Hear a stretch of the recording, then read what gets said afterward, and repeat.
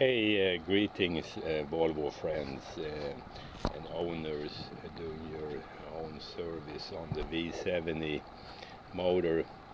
I thought I'd share a little tip um, regarding uh, the high mileage motor building up too much pressure in the crankcase.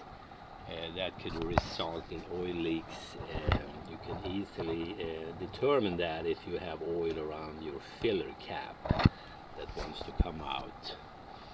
Uh, I uh, put a half inch water fitting here in the flame trap and um, drilled a three quarter inch hole. I uh, softened the edges on the flame trap with the torch and screwed that fitting in there. You can of course use a metal tap if you have one. Uh, then I went from the flame trap under there uh, came over this is a recycled wash machine hose and into your uh, air filter box with another fitting there.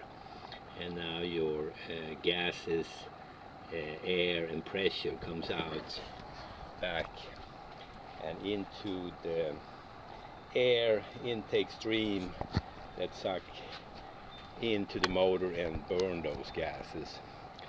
So uh, you are environmentally correct.